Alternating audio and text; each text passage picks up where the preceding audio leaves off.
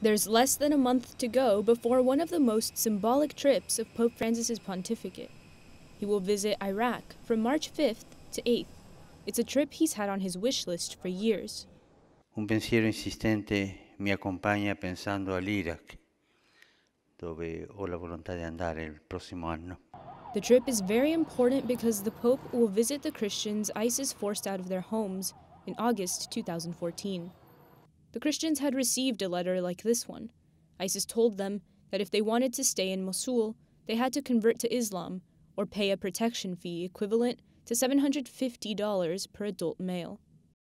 They also threatened Shia Muslims. In a matter of days, not a single Christian remained in the city.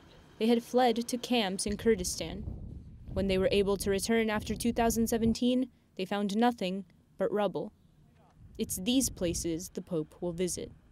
The Holy Father's trip to Iraq is such a sign of encouragement, um, a message of hope to the Iraqi Christians who have been tested in their faith all down the centuries.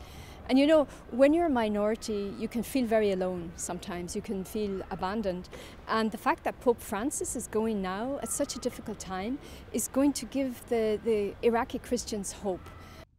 Aid to the Church in Need provided essential aid to the Christians in refugee camps. The foundation also helped them rebuild churches and houses so they could return to their homes. The Pope will bring them comfort and encouragement on their path to reconciliation.